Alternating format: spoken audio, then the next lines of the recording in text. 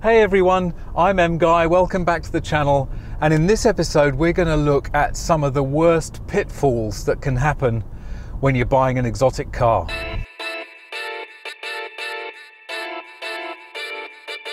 So if you're new to the channel, thanks for stopping by. I really hope you enjoy it. And if you like this kind of content with my own cars, this beautiful 2011 CL500 and a cute little MG Midget from 1971, it'd be great to have you as a subscriber. So we're dodging the showers a bit in Sydney today. It's going to rain like crazy uh, any minute now. Uh, but I thought I'd get out and do a video because I haven't put anything out recently. Um, but I do have some really exciting news and that is that a new exotic is coming to the channel very, very soon.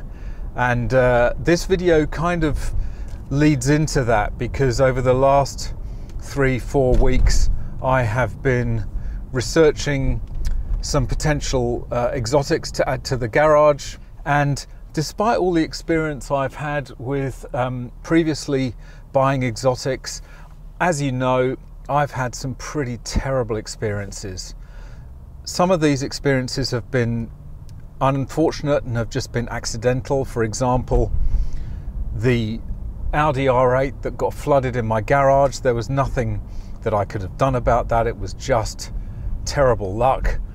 The Ferrari 360 was more of a an issue that should have been picked up. I ended up spending a ton of money uh, on a car that really wasn't worth it in the end and I was really burned by that. So I've learned quite a lot, and I felt that I've gone into this particular process with a level of knowledge and understanding that I hadn't had before.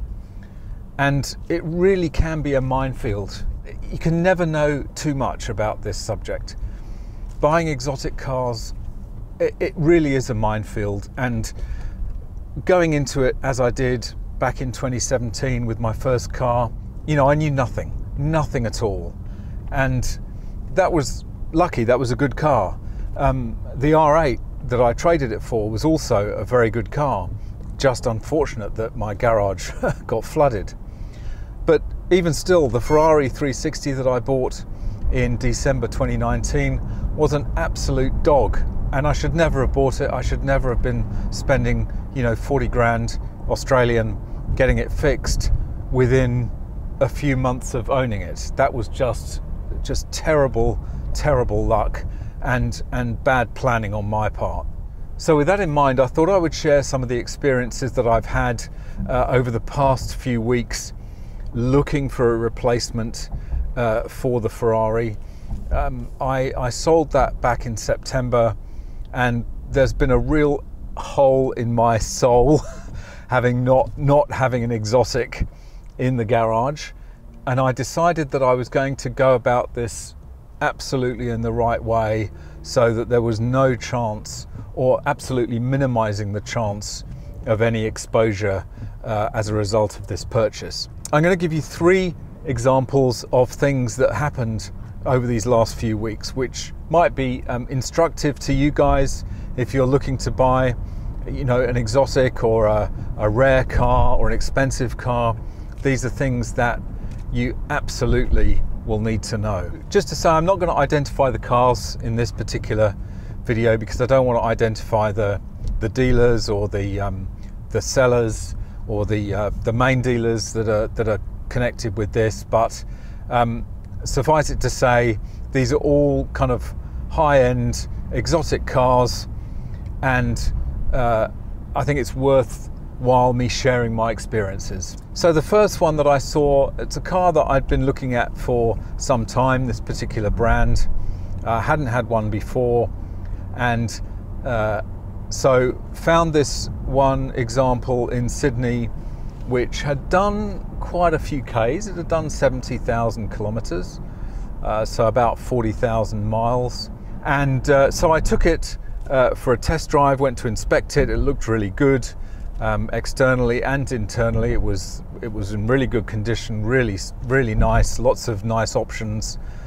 Um, but I took it for a drive. They said, you know, take it for a long drive.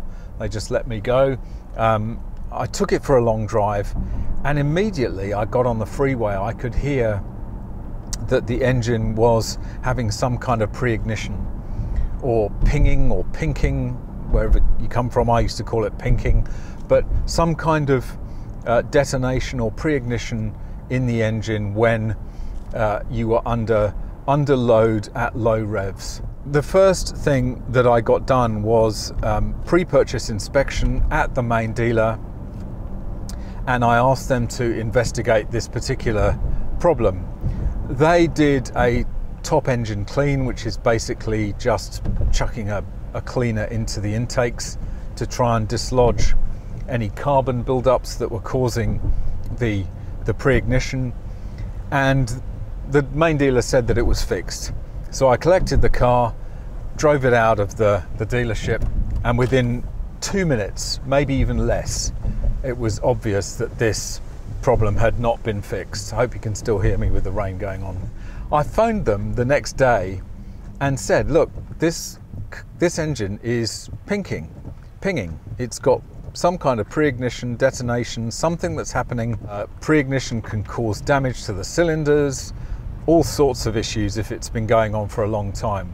I could hear it quite clearly, and um, the dealership was adamant that there was nothing wrong.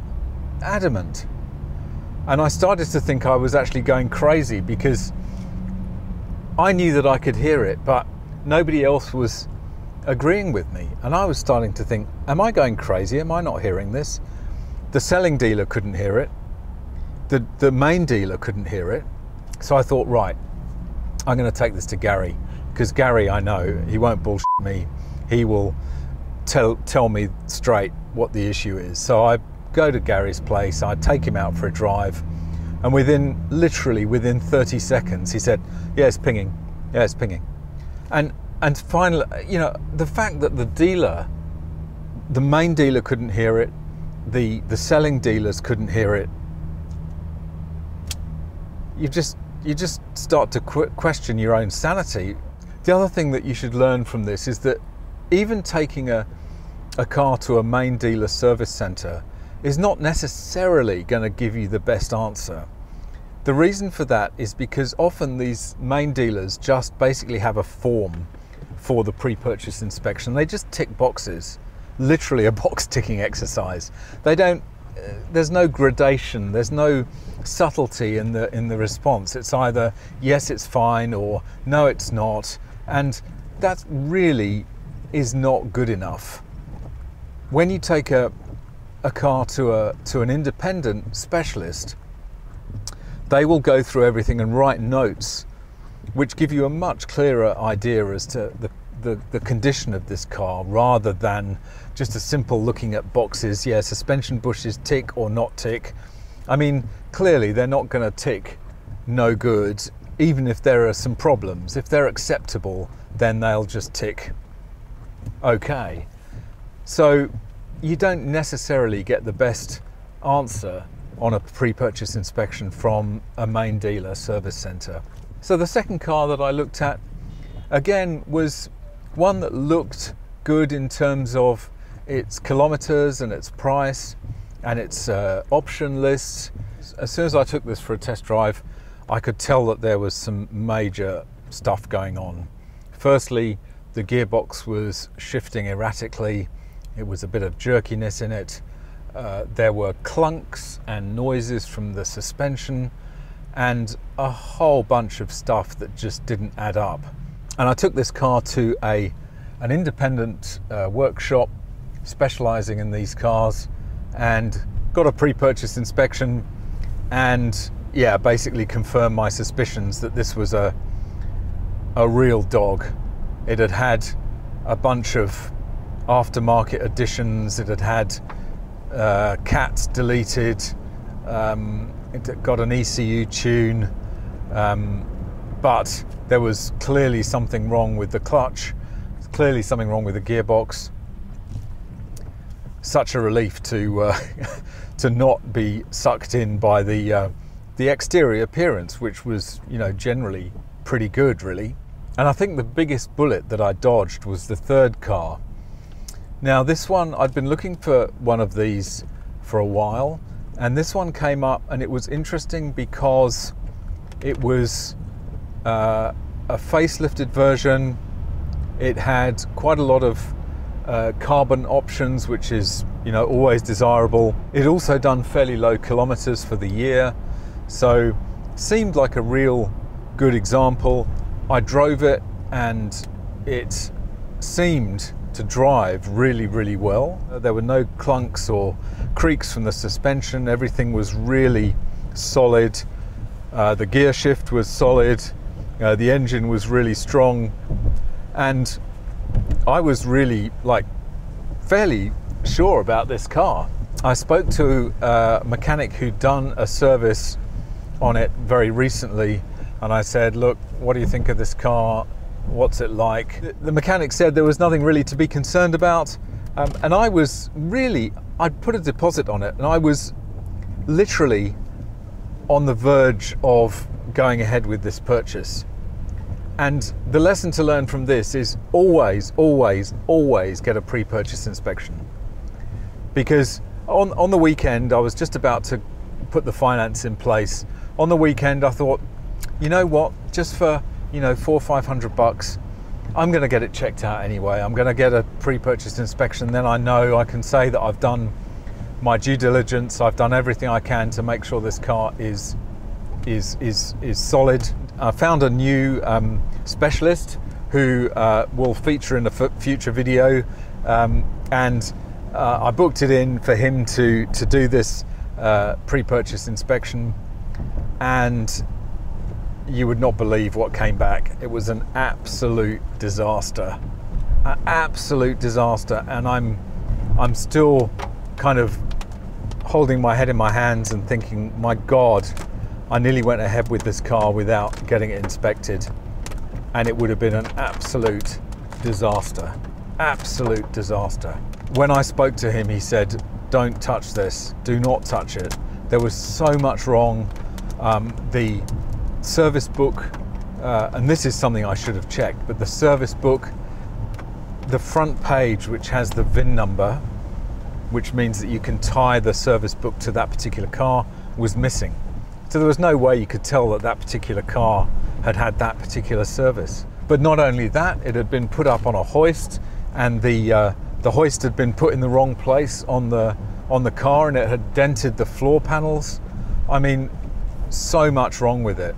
I mean, the guy admitted um, that it drove well, and you know that that is right. It did drive well, but and it probably could have been put right. I mean, as the as the mechanic said, you know, you could always this is stuff that can always be fixed, but it would probably cost me about twenty grand to fix it, to you know repair the floor, uh, to um, there's a whole bunch of other stuff that needed doing. Um, there was an aftermarket body panels that didn't fit properly, um, and you could always put it right, but the car wasn't wasn't solid to start with. It didn't have that history that you need, and so um, I absolutely dodged a bullet there. And in fact, I did some research on this car after after the event, and uh, I did a uh, New South Wales uh, rego check um, which confirmed that it had had no less than eight registered owners in the last three years. What a nightmare. What an absolute nightmare. Disaster avoided. But again, it's that's the kind of stuff that you you just need to get a pre-purchase inspection. And and my strong advice would be to get a pre-purchase inspection done by a really competent independent specialist. As I say, the, the kind of inspections that they do at the dealerships, they're often simple box ticking exercises. They give you no real insight into the quality of the car. It's just yes, no answers, which are essentially, I mean, they give you a very binary opinion of the car. Literally, it's either yes or no. Whereas if you take it to a good independent specialist to do a, a PPI, you'll get that, you know, the, the subtlety and the and the shades of grey that you need to understand, you know, really where where the car is in terms of in terms of quality.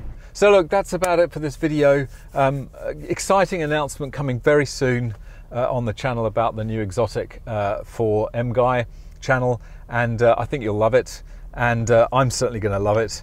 And um, yeah, this this has really been a really sobering experience, even though I think that I've got a fair amount of experience in in dealing with these kind of exotic cars. There's still always more to learn. So always you know, talk to people, get um, get advice from people, speak to your local club if even if if if you can get involved with the the club for the for the kind of um, car that you're thinking of buying, you can always get great advice from existing owners who will point you in the right direction. Let me know in the comments if you've had any similar kind of scary moment experiences with buying cars where you where you've dodged a bullet uh, I'd love to read them because I'm sure we've all had them. So anyway, thanks very much for watching. If you enjoyed this video, don't forget to smash that like. It'd be great to have you as a subscriber and hit that notification bell. You can follow me on Instagram down here. Look forward to seeing you in the next video. Bye for now.